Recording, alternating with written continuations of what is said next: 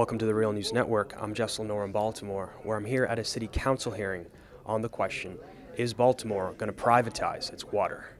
The department's director says no. There's absolutely no plan to privatize the water system.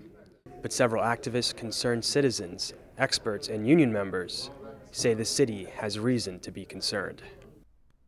Much of the hearing focused on the city's plan to pay an outside firm up to half a million dollars to study how to improve efficiency within the city's aging water system.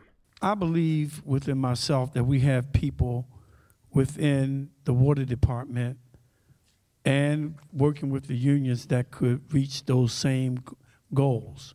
It's not an easy process. It's not a process that our current employee has. That's, question, that's issue number one. Number two, as you stated, many of our retirees has now went about to work for consultant firms and others. Much of the focus was on Veolia, the world's largest private water company. It's one of the firms that submitted a letter of interest to carry out the efficiency study for the city. We've heard from Mr. Chow that the city hopes to offset rate hikes.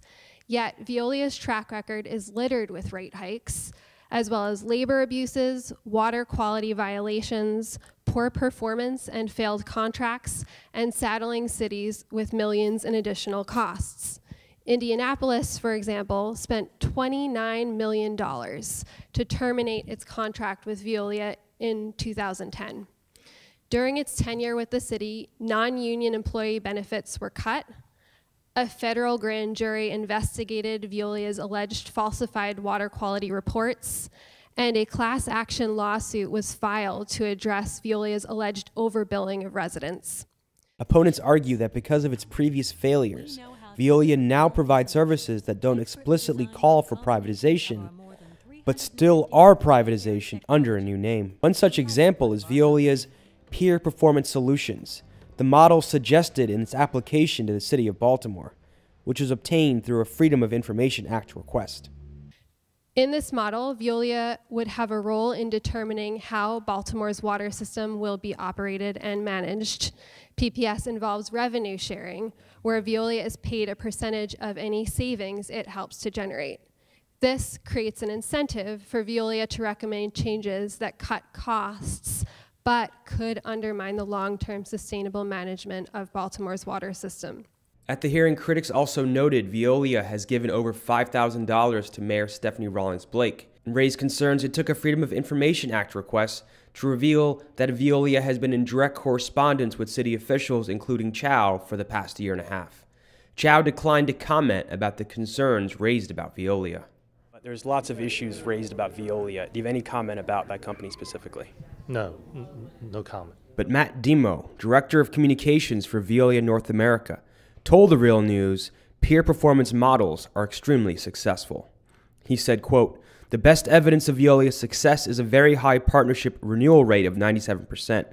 Among the 550 communities we serve in North America, no contract renewals were lost last year to competitors, and only one very small community reverted back to municipal control. Our partnership model supports public ownership, public rate setting, and public control. At the hearing, Chow did argue Baltimore could benefit greatly from such an agreement. I want us to stay as a public agency with integrity and caring of the citizens, yet operate with the creativity, knowledge, and experience of a private sector to gain efficiency and know-how. In essence, what I'm asking for and want us to transform to is that I want the city to have the best of both worlds. We are not motivated by profit. Our vision is very clear, as I stated earlier, in the environment and the safe and well-being of our citizens.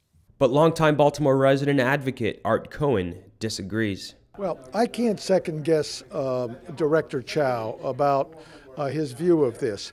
He may be quite sincere in thinking we're just going to get a little advice from Veolia and then we'll, uh, if the advice is good, we'll follow it uh, within our own shop.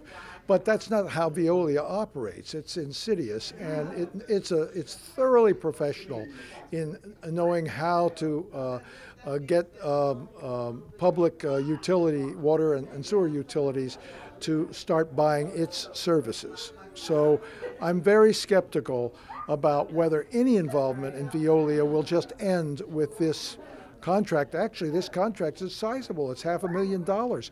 What if that half million dollars were turned back to the city to do some new training and uh, and some brainstorming and to uh, and do some of the design work that they say they have not been able to do uh, until recently?